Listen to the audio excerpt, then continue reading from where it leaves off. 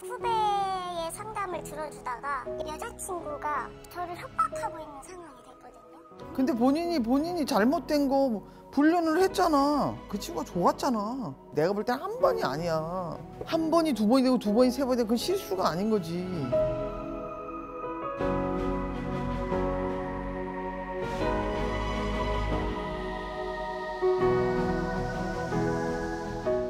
안녕하세요. 안녕하세요. 반갑습니다. 갑자기 짜증이 빡 날라 그래. 네? 짜증이 막 올라. 정함이요. 삼재를 톡톡히 치르겠는데 잠시만 참을게요.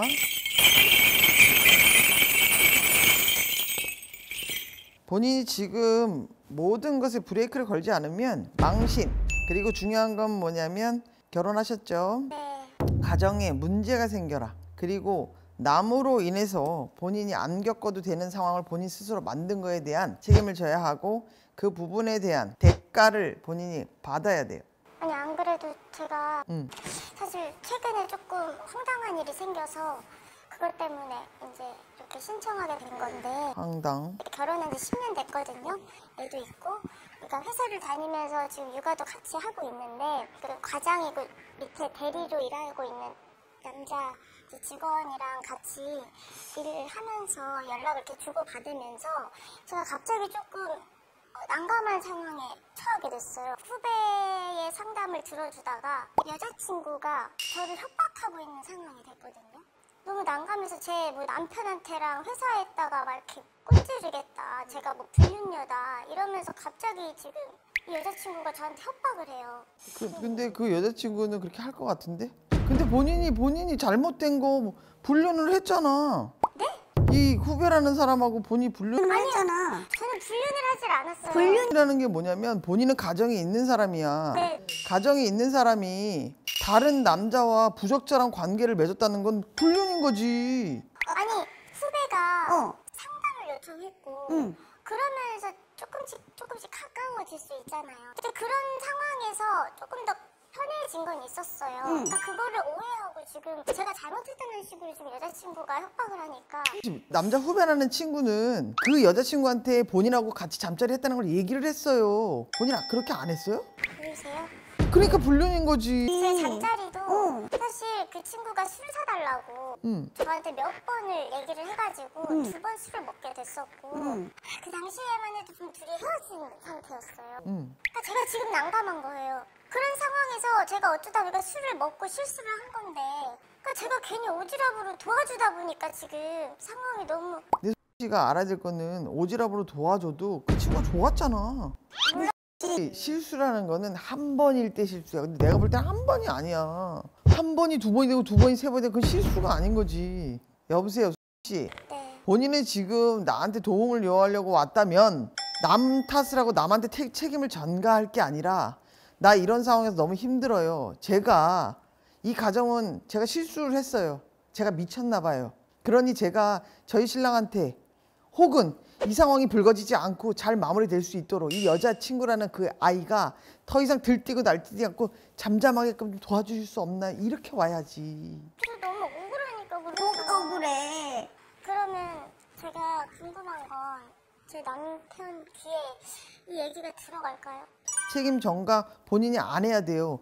그 친구한테든 어떤 상황이든 마무리를 짓고 매듭을 지어야지. 그래야 신랑한테 귀에 안 들어가요. 들어가는 건 급선무예요. 금방 들어가. 본인은 지금 제가 얘기했잖아요. 처음에 삼재를 본인이 혹독하게 겪고 있다고.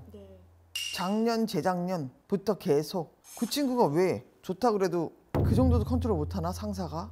아니 제가 다 거부했죠 처음에. 어.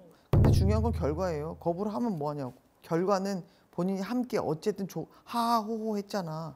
지금 이미 망신 구설, 어, 집안에 신랑한테 문제가 생, 가정에 문제가 생겨 다 들어와 있어요.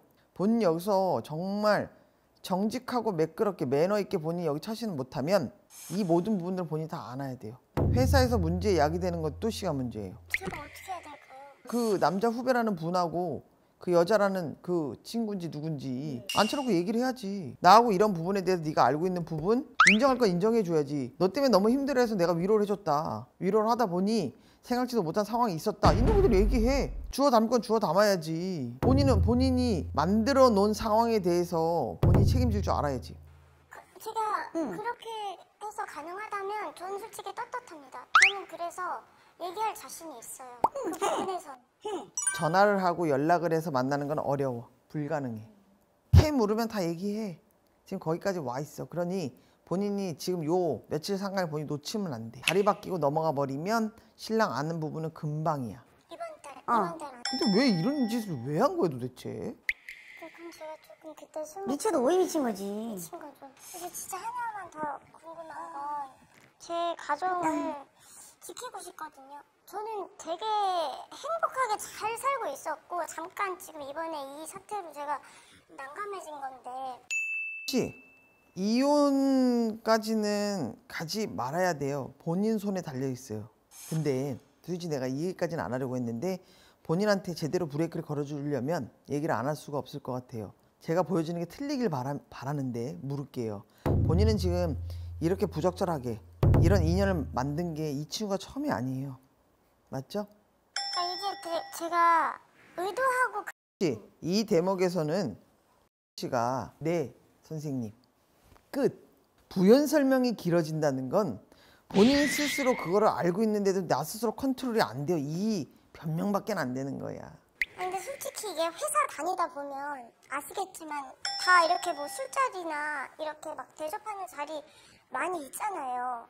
그렇게 따지면 저희 남편도 사실 없진 않아요. 제가 어쩌다가 알게 된 사실이 있긴 합니다.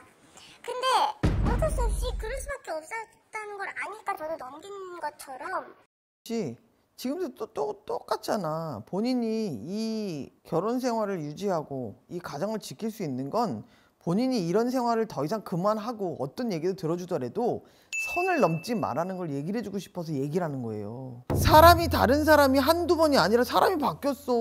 그럼 이거 잘못된 거지. 마지막을 본인한테 해줄 수 있는 건한 개예요. 신랑을 떠나서 아이한테 부끄러운 사람 되지 말아야지. 한치 부끄러움이 없어? 지금 이렇게 찾아온 거죠. 안 되고 싶었으면 요번처럼 이렇게 된 거 하지 말아야지. 본인 이 부분에 대해서 본인이 안 하면 안 돼요. 망신이에요, 망신. 미안한데요. 그 제가 지금 짚은 게 한 개 두 분이 아니에요. 그러니까 여기서 더 얘기를 하면 씨가 멘붕이 오니라니까 너무 창피할 것 같아. 내가 그만할게요. 그만하세요. 정확하게 내가 본인한테 짚고 브레이크를 걸어준 거예요. 망신이에요. 아이한테 부끄러운 엄마 되지 마세요. 아시겠죠? 네. 안녕히 가세요. 어.